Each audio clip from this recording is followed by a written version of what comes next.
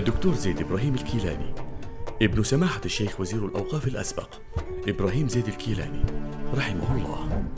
ولد الدكتور زيد إبراهيم الكيلاني عام 1983 تخرج الدكتور زيد الكيلاني من الجامعة الأردنية بمراحلها الثلاث بتخصص الفقه الإسلامي وكانت رسالته عبارة عن كتابين الكتاب الأول مرتكزات الفقه المقاصدي والكتاب الثاني تحت عنوان مستجدات التفريق القضائي. يعمل الدكتور زيد في القضاء الشرعي في المحكمة العليا الشرعية. وعمل أيضا الدكتور زيد في مواقع قضائية عديدة. بالإضافة إلى عمله كرئيس مكتب الإصلاح والتوفيق الأسري في عمان.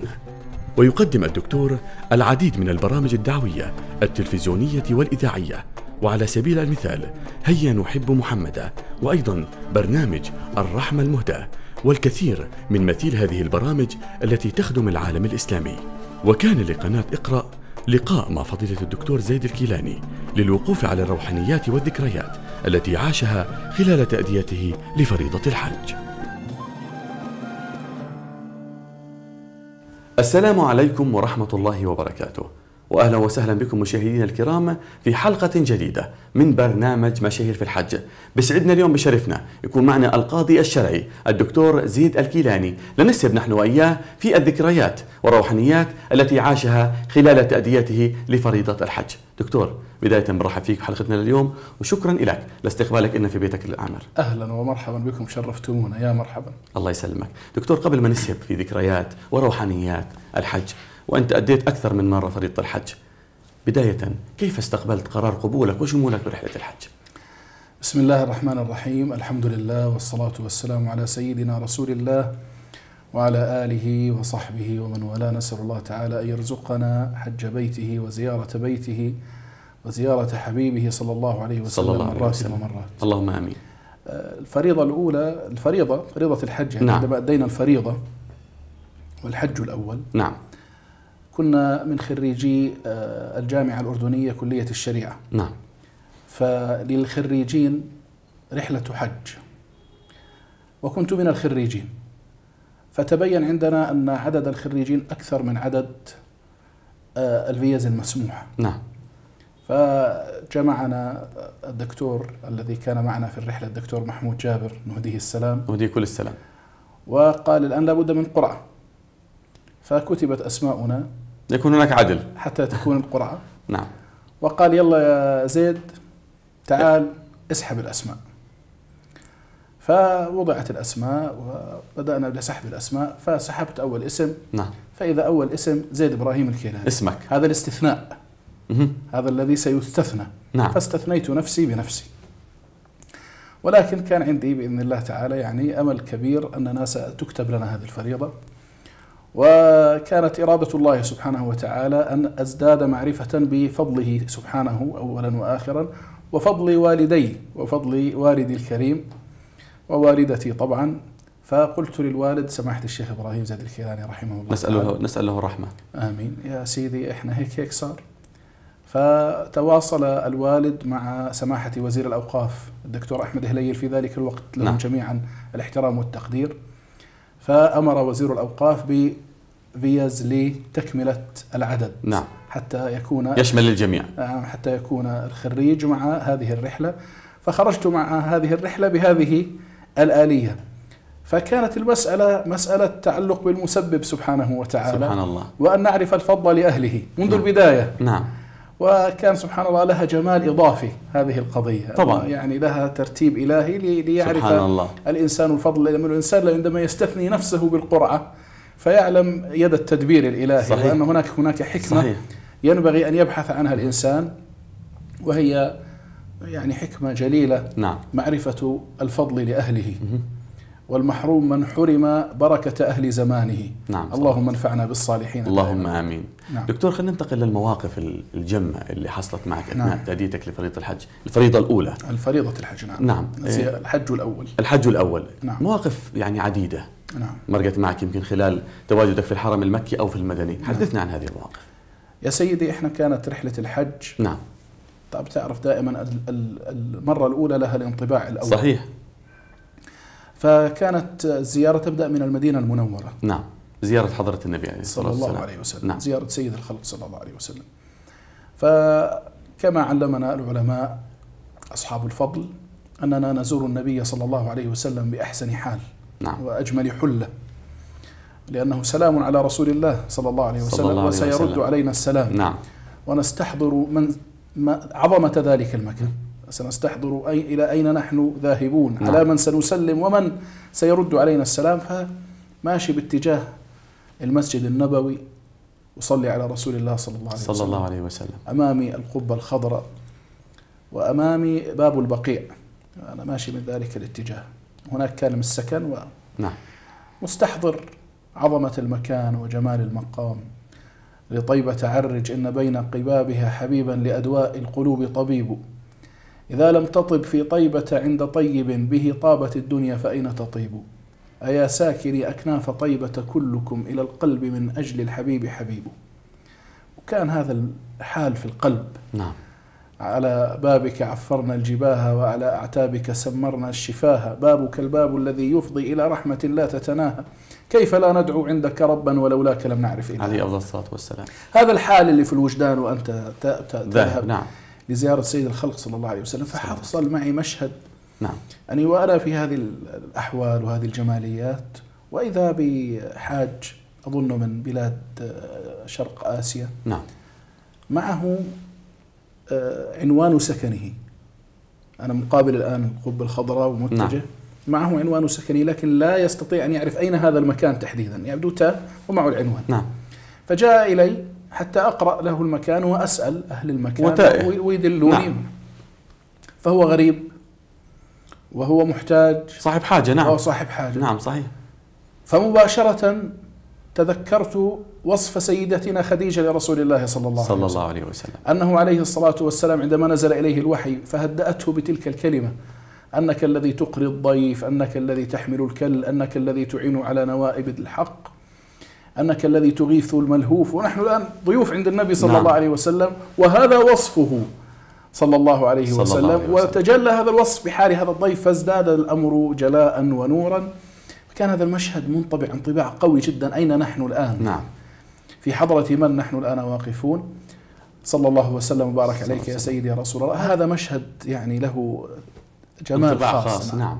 مشهد آخر أيضا هو مشهد بعد هو المشهد الثاني عفوا عندما نعم. رمينا الجمرات في اليوم الثاني من أيام التشريق. نعم. فقبل التوسعة الجديدة نعم. حصل هناك شيء من الازدحام. فأنا ماشي والحمد لله الأمور ميسرة. الحمد لله. لكن وجدت حاج كبير في العمر يعني يسير مع الناس كما تكون القشة فوق البحر. تحملها الأمواج. نعم. يمنة ويسرى تارة يقبل تارة يدبر. ما عنده قدرة على الوقوف. على الوقوف. كأنه أصبح محمولا. نعم. فأنا أنهيت الرمي فأمسكت بيده وكأن قلبه في يده من شدة الله. التعب. فأمسكت بيده ذهبنا أنا وإياه إلى هيك زاوية هادئة. قلت له يا حاج خلاص وكلني أنا أرمي عنك. قال لي تمام. خذ ارمي عني. أنا طبعا وأنا أنظر إليه قلت هذا الحاج ربما يعني اضطر الآن إلى الحج بهذا العمر ما تيسرت معه سابقا نعم. لأنه حاج مرهق وكبير في العمر. قلت له عن من عن من أرمي أرمي عنك قال لا فإذا به يحج عن ولده المتوفى. الله أكبر. فاستشعرت عظمة الرحمة أنه هذا الحاج بهذا العمر بهذا الإرهاق بهذا التعب يحج عن ولده المتوفى. هذه رحمة والد بولده. فكيف برحمة الرحمن. الرحيم نعم. بهؤلاء الذين جاءوا لله المثل. الأعلى. نعم صحيح. جاءوا إلى هذا المكان طالبين لرحمته نعم كل هذا الحجيج جاء تلبية لنداء الحق سبحانه وتعالى نعم. ولله على الناس حج البيت من استطاع إليه سبيلا نعم فهذه رحمة عبد بعبد أب بولده الله أكبر فكيف برحمات الله نعم صدق. وليس كمثل الله شيء نعم هذا نحال الرحمة وجمالها هذا كان يوم عجيب. طيب دكتور نذهب لقصة ثانية أو مشهد آخر أو موقف آخر حدث معك. نعم. أثناء تأديتك لفريضة الحج. أي نعم القصة الثانية. نعم. آه، سكننا كان في هذه الرحلة بجانب منى تقريبا. نعم. فأردت أن أذهب من السكن إلى الحرم مهم. مسجد الحرام لأصلي. نعم. وهذا كان يحتاج معنا تقريبا من الوقت يعني في ذلك وقت ساعة ساعة ونصف يعني حسب السرعة. مشيا على الأقدام. آه حسب طبعاً. السرعة في المشي. نعم. وكان عندنا سرعة في المشي ونستطيع أن نذهب بسرعة. شباب. أي نعم. وإذا نفس المشهد بحاج آخر يأتي إلي يريد أن أذهب معه إلى نفس المكان سبحان إلى المس الله. بيته بجانب مكان إقامته بجانب المسجد الحرام. قلت له امشي معي. فمشى كل شوي أطلع عليه. ألاقيه وراي بعيد لأنه كبير في العمر. لا, لا يقوى على يعني مسايرتك في المشي. أي نعم. يعني لا يستطيع أن يمشي بسرعة. صحيح. قلت أفضل شيء أن أستأجر له سيارة ونخرج نعم. آه، مع بعضنا نعم. أو أستأجر له السيارة وأكمل مشيا. فكان السيارة في العادة قبل آه، تلك الأيام لها سعر معين فاستأجرت سيارة يا لو سمحت من السيارات الكبيرة لو سمحت هذا الحاج توصله إلى هذا المكان قال لي نعم. عبرك فضاعف السعر أربع خمس أضعاف. الله أكبر. فقلت له كثير قال لي والله هذا هيك السعر الآن هذا موسم. قلت على بركة الله فأنا بدي يعني أستغل إنه. الرقم كبير. قلت له أنا وياه بدنا نطلع. بهذا المبلغ. نعم. قال لي أنت وياه أنت وأربعة أنت وخمسة. طالع رايح رايح. هاي المقعد اقعدوا قد ما بدكم فيه. فأعطيته المبلغ اللي نعم. طلبه. وإن كان في رسالة أخرى أها. أعطيته هذا المبلغ. وجلست بجانب هذا الرجل. فأنا أريد أن يعني أستغل الموقف آه، دعويا. الشاهد هنا. يعني. آه، أريد أن أستغل الموقف دعويا وأن أرقق قلب السائق وأن أذكره بعظمة هذه الأيام. فقلت له كلمة. قلت له كسبنا أجر بالحج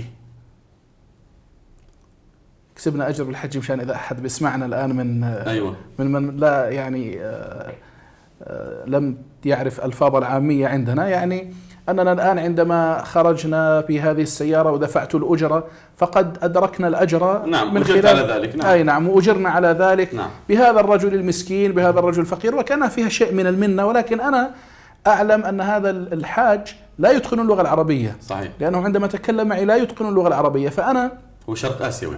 لا هو نسيت والله مكانه. نعم. فأنا انقدح في ذهني أنه لن يعلم أنني آه، عنيت المنة عليه بهذا الكلام. نعم. فأنا أتكلم مع السائق أقول له كسبنا أجر بالحج. وهذا بالحاج هذا ينظر إلي, إلي هكذا نظرة عتاب. وهو لا يتقن اللغة. مهم. فقلت ربما يعني آه، الروحانيات زائدة الروحانيات نعم. فائضة. بسبب الروحانيات صرنا نحلل كل شيء تحليل أيوة. آه، وكأنه رسالة. وما هو لا يتقن اللغة العربية يعني.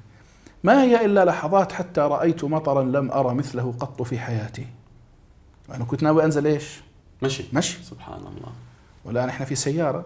إلى درجة أنه لما ننظر للسيارات بجانبنا لا أرى السيارة بجانبي من, شدة, من شدة الأمطار. أوه. وكان في تلك ال- ذلك الموسم من شدة الأمطار نزل بعض بعض الحجارة نزلت مع الماء من الجبال فأصابت بعض الحجاج الذين كانوا نعم. يمشون وصار في غرق سيارات وما شابه ذلك. فإذا بذلك الحاج الذي كنت قبل قليل يعني أتكلم بلسان المنة ينظر إلي ضاحكا. فقلت يقول لي الآن أرأيت من الذي كسب الأجر في الآخر. إحنا اللي كسبنا أجر فيه. الحمد لله. أو كانت رسالة دائما أن أن هذه الأيادي إذا أعان الله عبده على يد فضل نعم. فالله قد تفضل عليه. مهم. تفضل عليه لأن الله هو ذو الفضل العظيم. طبعا على العالمين جميعا. أولا وآخرا. نعم. ويد الله مبسوطة على كل يد مبسوطة. أن لا ينظر العبد إلى عبد آخر أنه كان صاحب فضل. لا. أنت وسيلة والله هو الذي أكرم نعم صدقت جميع خلقه. الله يفتح عليك يا شيخ ويعطيك العافية. راح مرحبا. نطلع فاصل ونرجع. بإذن الله. مشاهدينا الكرام فاصل صغير وراجعين. ابقوا معنا.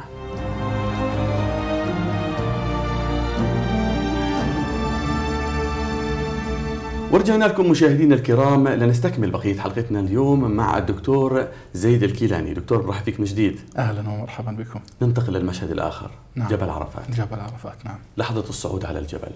الشعور آنذاك. نعم. يعني شو شعرت وأنت طالع على جبل عرفات؟ وهي العلامة الفارقة في حياة كل مسلم ومسلمة. صحيح. أنت في جبل عرفات ترى بعيني القلب تجلي الأنوار الإلهية الله أكبر. على أهل الصعيد. تشعر بذلك. نعم. تشعر أن الآن الحال اختلف.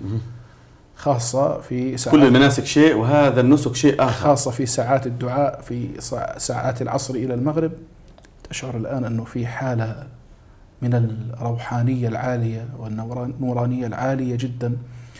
والقرب الإلهي وتستشعر فعلا بلسان الحال نعم.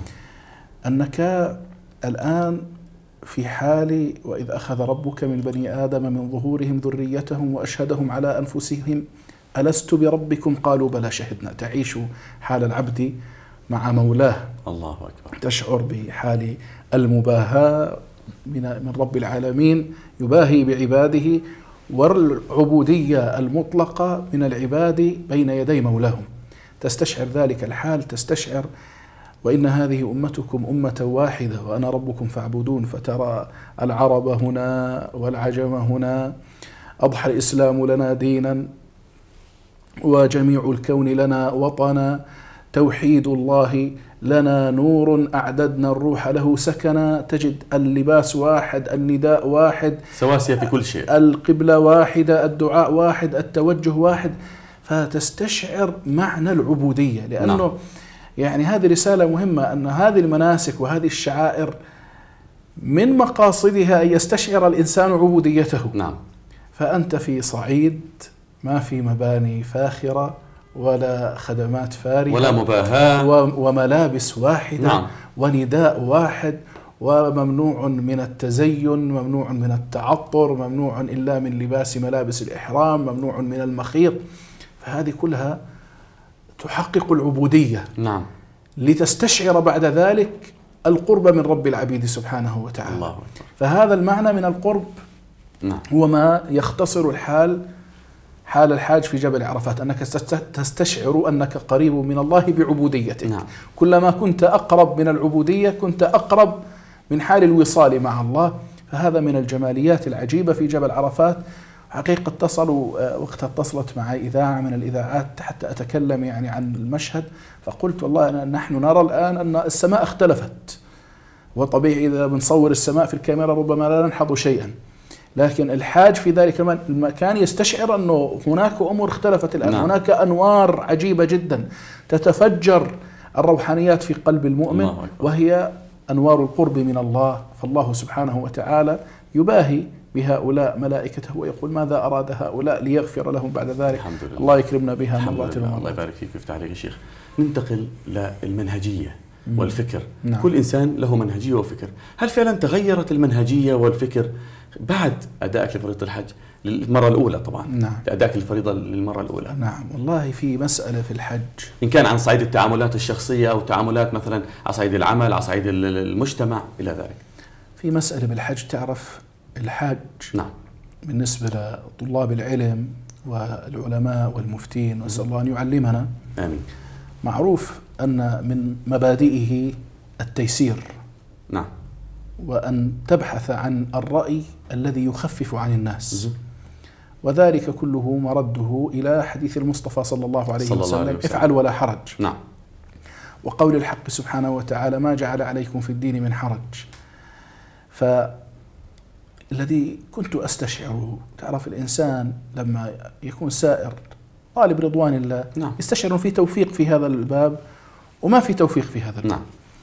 فكلما كنت باحثا عن التخفيف عن العباد ومراعاة مصالحهم كلما كان مقصدك أن تكون الفتوى محققة لمصلحتهم ورحمة نعم. بهم تستشعر أن هذا المنهج منهج مقبول.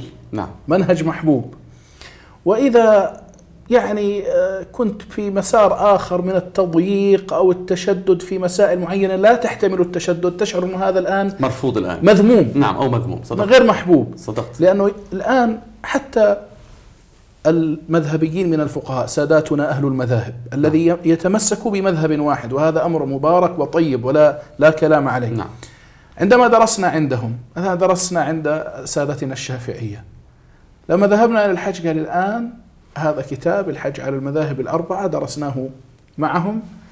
قال الآن في الحج نبحث عن التيسير ما دام الرأي له دليل وله استدلال. نعم. فهذه من المسائل التي أذكر أننا عندما نتعامل مع الفتوى العامة وهناك مصالح كبرى أو هناك عنت وحرج لابد أن يكون حال طالب العلم أو المفتي أو الذي آه، يتناول القضايا العامة قد راعى مصلحة الناس. نعم. وراعى التخفيف عنهم. هذه القضية الأولى. المسألة الثانية حقيقة هي مسألة تذويب الفوارق. يعني الحج لا يحتمل أن تجعل معه الفوارق التي تقسم الأمة إلى مدارس متناحرة متنافرة. صحيح. بل تشعر وتجد وترى بأم عينيك أن من مقاصده تذويب الفوارق. نعم. ويجب أن يكون هذا أيضا مقصدا ومنهجا عند العالم وطالب العلم والمفتي والناس كافة. تماما. نعم. أن يكون قبوله لأبناء أمة لا إله إلا الله نعم. محمد رسول الله. أن يقبل التعدد في الأمر القابل للتعدد. مهم. وهذه مدرسة في أصول الفقه اسمها مدرسة المصوبة. نعم. مدرسة نص عليها الإمام الغزالي في المستصفى. أن ما دام الاستدلال سليم والدليل سليم فيحتمل الأمر التعدد مثل حديث المصطفى صلى الله عليه وسلم صلى الله عليه وسلم. لا يصلين أحدكم العصر إلا في بني قريظة. نعم. فعندما يكون في هناك اختلاف في الآراء فلا يعني ذلك الخطأ والصواب نعم. بل يحتمل تعدد الصواب في الأمر الواحد. للتيسير على الناس. للتيسير وللقبول. نعم. لأقبل الآخر. نعم. لنعي- لنعيش معنى الأمة. نعم. هذا معنى وإن هناك في تناغم أمتكم نعم. أمة واحدة, واحدة. وليش النداء واحد واللباس واحد والقبلة واحدة والمناسك واحدة والشعائر صحيح. واحدة لتعيش هذه الم... لتعيش هذا المعنى لذلك اجتماع الحج رسالته قوية جدا بمعنى وحدة الأمة نسأل الله نعم. تعالى أن يلهمنا ويفهمنا هذه اللهم المعاني. آمين نعم.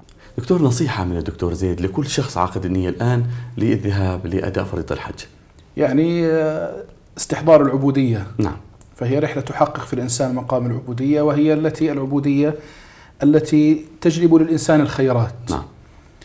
وأن لا ينسانا من صالح دعائه. اللهم آمين. فالحج القصد. القصد أن تقصد وجه الله تعالى. نعم.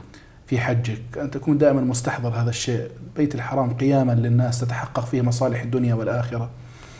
الدعاء لأمة المصطفى صلى الله عليه وسلم. صلى الله عليه وسلم. ذكر أحد العلماء أنه وهو يطوف حول البيت رأى زحاما عند الملتزم.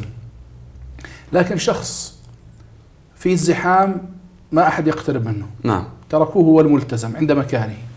فدعاه ذلك أن يقترب منه ليسمع دعاءه. ما في أحد مانع الناس منه لكن الناس ما تقترب منه. فلا بد من سر. فاقترب فإذا به يدعو لأمة المصطفى صلى الله عليه وسلم. اللهم ارحم أمة المصطفى اللهم أكرم أمة المصطفى اللهم انصر أمة لا إله إلا الله. اللهم آمين. فنجعل لهذا الدعاء نصيبا. أن. يرزق الله أمة لا إله إلا الله محمد رسول الله نصره وعزه وتمكينه أن يرزقنا صلاة في المسجد الأقصى محررة أن ينصرنا على أعدائنا هذه نصيحة فعلنا نكون من المستعمرين بهذا الشرف العظيم. اللهم آمين. اللهم سعدنا اليوم بلقائك دكتور. يا مرحبا. على أمل إن شاء الله اللقاء في حلقات أخرى إن شاء الله. أهلا ومرحبا. بارك الله فيك. الله يفتح. عليك يا شيخ. شرفتم بارك الله فيك. وسهلا. مشاهدينا الكرام إلى هنا نكون قد وصلنا لنهاية حلقتنا لهذا اليوم. على أمل اللقاء إن شاء الله في حلقات قادمة. إلى ذلك الحين. لكم مني أنا علي بركات أطيب التحيات. دمتم في رعاية الله. يعطيك العافية شيخ. والله يسلمك.